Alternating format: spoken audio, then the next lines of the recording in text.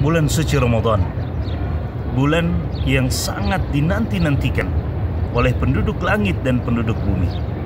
Bulannya para pendosa untuk segera kembali kepada Allah, bertaubat kepada Allah Subhanahu wa taala.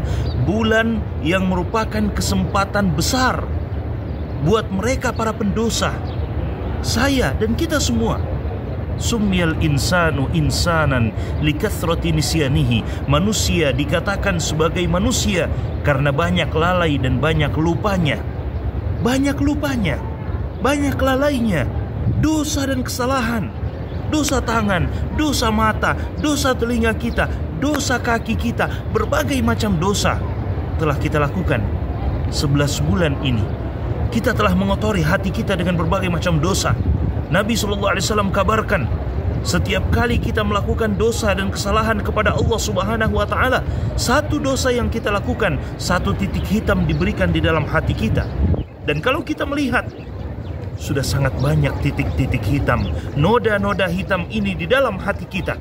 Dan mungkin hati kita sudah sangat gelap dengan dosa tersebut. Maka Allah Subhanahu wa taala datangkan bulan suci Ramadan bulan yang penuh dengan keberkahan agar kita bisa manfaatkannya agar kita bisa menjadikan bulan itu sebagai bulan pelebur dosa kita bulan penghancur dosa kita penghapus dosa dan kesalahan kita. Nabi SAW berikan kabar gembira kepada para sahabat. Qad ja'akum Ramadan. Telah datang kepada kalian bulan Ramadan kata Nabi. Syahrun mubarak bulan yang penuh dengan keberkahan.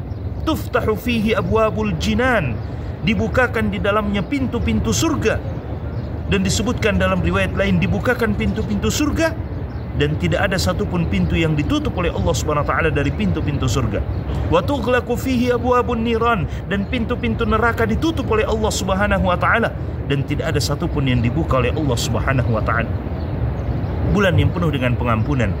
Oleh sebab itu, marilah kita gunakan kesempatan bulan yang mulia ini dan semoga Allah Subhanahu wa taala pertemukan kita dengan bulan yang mulia ini. Dan jika Allah Subhanahu wa taala memperkenankan kita bertemu dengannya, gunakan dengan sebaik-baiknya. Jadikan itu sebagai kesempatan kita mendapatkan ampunan dari Allah Subhanahu wa taala. Semoga Allah Subhanahu wa taala mengampuni segala kekurangan dan kesalahan kita.